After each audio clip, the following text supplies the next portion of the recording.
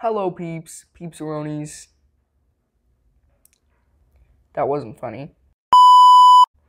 Anyway, um, in this video, I'm going to be drawing my cat along with telling you guys a story of how um, my family got our cat.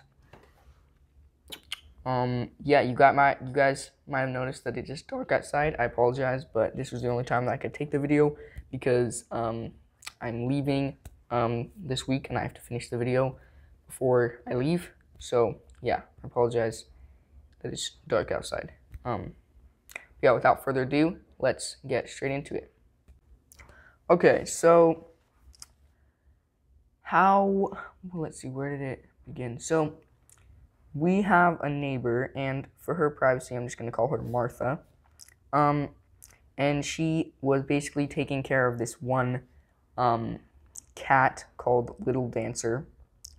Um, and she figured out that Little Dancer was pregnant and that she was going to have kittens. So she was like trying to figure out where Little Dancer was going to have her kittens because um, she wanted to take care of them and give them away so they wouldn't be stray cats because um, Little Dancer was a stray cat.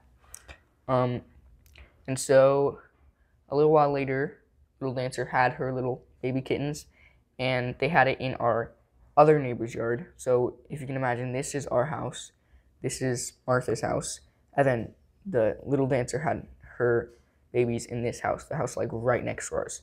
So we would like look over the fence and she had her babies like in this little tiny like spot um, over the fence because um, our neighbors had a dog that um,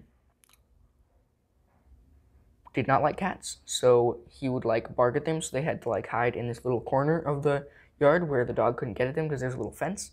Um, and then um, I think because she was scared of the dog, Little Dancer got her kittens and moved them over the fence and under this deck we have in our yard. Um, and basically lived there for a while. Um, and then Martha went over to us and she was like, "Hey, the kittens are under your deck.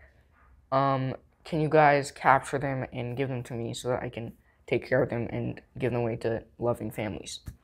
Um, so we were like, "Sure." So we waited um, to figure out a way how we would catch these kittens because they were very scared of humans because they're stray um, and we couldn't figure out a way to um, trap them. But then um, they got a little bit more playful, and they would like play on the around our pool. And then we have this like little pool shed. We have the shed that was right next to the deck, so they would like walk around the shed. And so we put some food in the shed as bait. Um, and then we waited on a on a chair like a little place away from where the cats lived in, under a deck. We were like right next to the deck, but like in a different spot than where they lived. So we waited there and we traded shifts all day long. And then finally, all of the kittens were in the shed at the same time because they kept on like one would go in and another would come out, and then two would go in, and then one would go out, and another one would go in, and so they were all none of them were all in the shed at the same time. So we counted the kittens, and all of them were in the shed. So we got a dad, and he got this little like past this one this little cage, and he bring a flashlight. He went into the shed, closed the door, and then turned on the flashlight, and he just collected the kittens because it's like this tiny shed, so it's super easy to find them because there's not very many hiding places. And you just pick them up, stuck them in there, and then bring them inside. And then we, since they were like really tiny, they were like this tiny, we kept them in this like cardboard box, and we had a little makeshift litter basket for them. Um, and it was funny because one of the cats actually just started sleeping in the litter box It was pretty funny. Um, but then we realized that they were getting bigger, and that was not a big enough space because they looked absolutely miserable um, in that little box. So we got these like we have these outdoor like segmented furniture, and so we got it, put it in the corner, um, in the corner of our house. So like made this little square um, enclosing enclosure where one corner was the wall and one corner was the benches or the, the seats. Um, so we just would climb over the seats and just hang out with the kittens basically all day because um, they were super duper cute. Um, and basically, they lived there for like a month, I think. And then we started looking for homes because Martha had not told us. We hadn't heard from her. We were like, "Hey, we got the kittens." She hadn't responded. We were like, "Do we give them to you? What do we do?" Um, and she said, "Just keep them." And we were like, "Okay." Um, we don't want to have five kittens because my mom does not like animals. She hates animals. Um, so we started looking for families to adopt the baby kittens, and we found some. One of them was actually our neighbor, where Little Dancer used to. Their yard was where Little Dancer used to have her kittens. That neighbor took one of the kittens, um, which was actually the one that I wanted. Um, but they took him, and then we ended up giving away all of them. And my mom was like, "Okay, I'll let you guys keep one of the cat cats, one of the kittens, because it was during COVID, so like we were really bored." And she was like, "Okay, you guys can keep one of the kittens. It'll be our COVID cat." Um, so although I didn't agree, my siblings poked it, picked this one they called like Cutie Puff because it was like really fluffy and really cute. Um, and so we kept it and then gave away all the other kittens. And then we decided that Cutie Puff was not a suitable fitting name um, because it was not an actual name. So then we tried to think of different names for it. Um, we decided to call it Columbo because there's this one show that our family um, was into at the time watching. Um, it's called Columbo, where the the main protagonist is this detective named Columbo. So we decided either he was going to name Watson or Columbo, both detectives. Um, and we decided to name him Columbo um, because it's just a great name, you know. Um, and now, okay, actually, so then we gave away all the kittens, named him Columbo, and kept him. And then we had a little his little litter box. We no longer kept him in the enclosure. Um, he basically just went around the house. Um, it was funny. Me and my siblings would fight over who got to sleep with Columbo. Um, it was funny. But then he started like peeing everywhere. Um, even though he had a litter box, he would start like peeing all over the you know like boxes we had around the house because he just likes peeing in boxes, I guess. And my mom was like, um, "This is not okay. Like I did not think the cat was going to pee everywhere, and like I said, she does not like animals, so she was she banished him outside. So now he lives outside." Um, in the courtyard, which is actually right there. We have this little like um, carpeted area. You can't see it now because it's dark, but we have this little carpeted area um, because our house is in a big U. So we think of it as like pretend this is the U. Okay, pretend this is the U, right? And then on the inside arch of the U, like in here, there is uh, like a roof over it, but it's like open to the air since it's like this is the U, so it's it's closed on all these sides.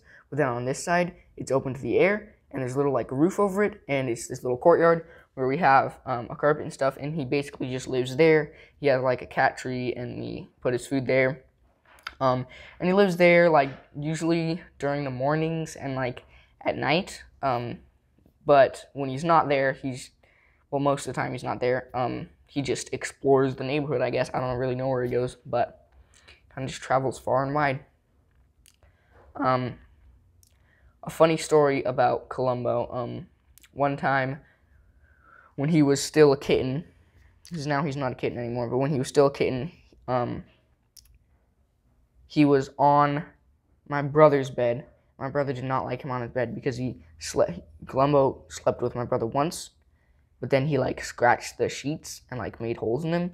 So then my brother was like, I don't want this cat on the bed if it's gonna scrape my sheets. So then he um didn't want him on his bed. And then my oldest sister, who like probably loved Columbo the most, um, was in there and she's like, Oh, then I'll sleep with him. Like I want to sleep with Columbo. So what hap- ended up happening was Columbo was on the bunk bed. It's a bunk bed. Um, so if you can imagine, we have like this bedroom. There's the bunk bed in this corner, and there's a fan in the middle of the room. Now, the bunk bed is like this, and the fan is basically like right here. So it's spinning like right here, but it doesn't go over like the edge of the bunk bed. It's just spinning right here. So my sister grabbed Columbo and lifted him up to take him off the bed, but she lifted him straight into the fan. And he did not like that at all. Let me just tell you, he was very angry. Um, so she lifted him right into the fan, and he like freaked out. The hand, fan hit him, and he like he mauled my sister's arms. So there were like scratches all down her arms, um, and in her hands. And I was like, ooh, because our cat, he's very cute, but he is very dangerous. Let's just say that. Um, that was when he's we filed his nails. Or no, that was when he was a kitten. So his nails were were like literally so tiny. They were like little tiny nails, and they still like scratched him, scratch scratched my sister.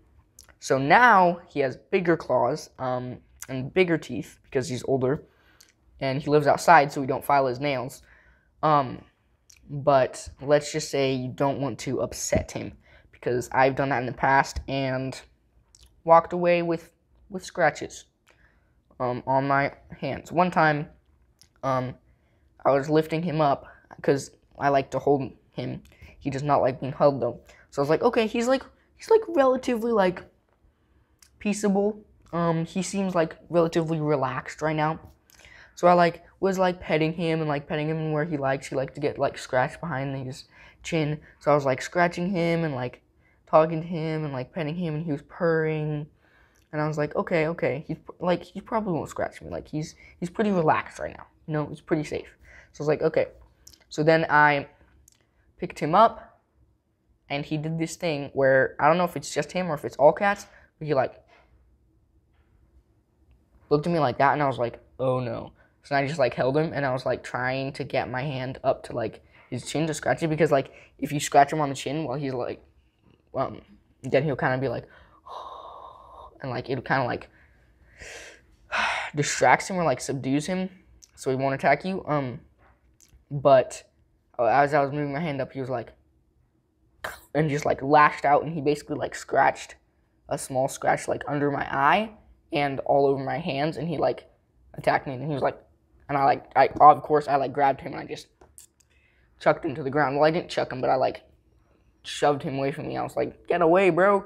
He was like, it was not pleasant. Um, but yeah, um, that is the end of the video. Um, if you guys enjoyed this video, please consider liking the video um, and even subscribing to my channel. That would be huge. Um, yeah. Thank you so much for watching this video, and peace out.